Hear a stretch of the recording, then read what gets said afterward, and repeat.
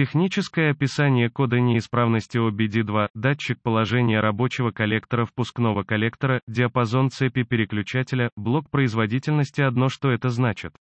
Этот общий код неисправности трансмиссии двигателя обычно применяется к двигателям с впрыском топлива у большинства производителей с 2003 года. К таким производителям относятся, в частности, Ford, Dodge, Toyota, Mercedes, Volkswagen, Nissan и Infiniti. Этот код в основном касается значения, предоставляемого клапаном, датчиком регулирования расхода впускного коллектора, также называемым клапаном, датчиком AMRS, обычно расположенным на одном конце впускного коллектора, которые помогают помогает PSM автомобиля контролировать количество воздуха, допускается в двигатель на различных оборотах. Этот код установлен для группы 1, которая представляет собой группу цилиндров, которая включает цилиндры номер 1. Это может быть механическая или электрическая неисправность, в зависимости от производителя транспортного средства и топливной системы. Действия по устранению неисправностей могут различаться в зависимости от производителя, типа топливной системы и типа датчика положения клапана управления, положения а АМРС, впускного коллектора и цвета проводов, симптомы Симптомы кода двигателя P2015 могут включать индикаторная лампа неисправности MIL, горит, отсутствие питания, случайные пропуски зажигания, плохая экономия топлива, причины. Как правило, причинами этого кода являются залипание, неисправность дроссельной заслонки, корпуса залипания, неисправность клапана АМРС, неисправный привод, датчик АМРС редко, неисправен модуль управления силовым агрегатом PS GSM требуется программирование после замены, диагностические шаги и информация о ремонте хорошо отправной точкой всегда является проверка бюллетеней технического обслуживания TSB для вашего конкретного автомобиля. Ваша проблема может быть известной проблемой с известным исправлением, выпущенным производителем и может сэкономить ваше время и деньги во время диагностики. Следующее, что вы должны сделать, это заметить, есть ли другие диагностические коды неисправностей, если какой-либо из них относится к системе впуска, производительности двигателя. Сначала диагностируйте их. Известно, что ошибочный диагноз этих кодов возникает, если кто-либо диагностирует этот код до того, как какие-либо системные коды, связанные с работой двигателя, двигателем, были тщательно диагностированы и отремонтированы. Убедитесь в отсутствии утечек на впуске или выпуске. Утечка во впускном отверстии или утечка вакуума приводят к снижению скорости работы двигателя. Утечка выхлопных газов создает впечатление объединенного двигателя, когда воздух проходит через датчик воздушно-топливного отношения, кислорода AFR, O2.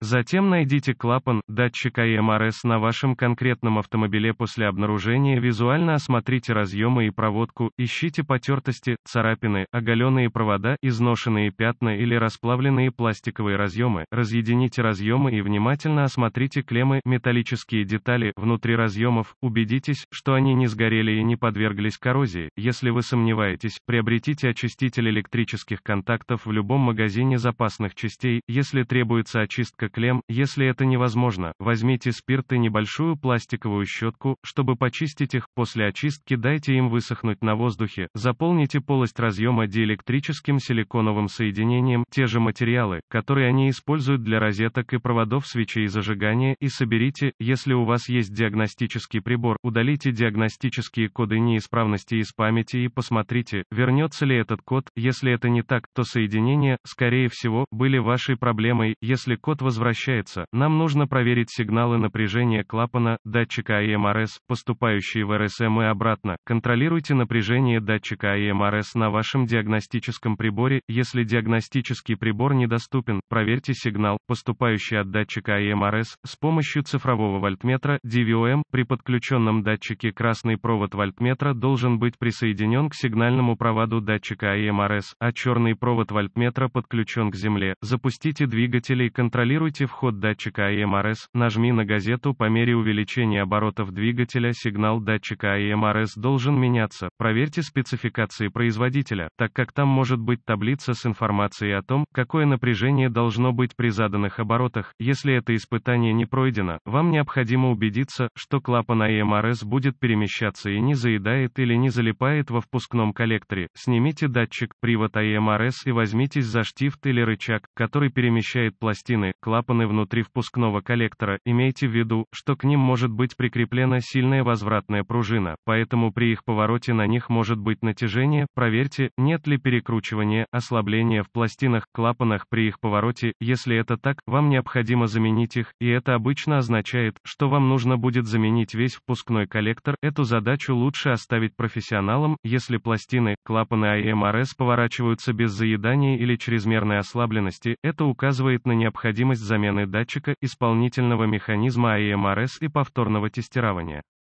Опять же, нельзя подчеркнуть, что все другие коды должны быть диагностированы до этого, поскольку проблемы, которые вызывают установку других кодов, также могут привести к тому, что этот код также будет установлен. Нельзя также подчеркнуть, что после того, как первый или два этапа диагностики возникнут, а проблема не очевидна, было бы мудрым решением проконсультироваться с автомобильным профессионалом относительно ремонта вашего автомобиля, так как большая часть ремонта оттуда вперед требует снятия и замены впускного коллектора, чтобы правильно отремонтировать этот код и проблему с характеристиками двигателя, следует также отметить, что некоторые пластины, клапаны AEMRS могут удерживаться на месте вместе с узлом датчик, привод и не могут заменяться отдельно, попытка разобрать их на части может привести к их поломке, если вы не уверены в своем автомобиле, обратитесь к автомобильному профессионалу.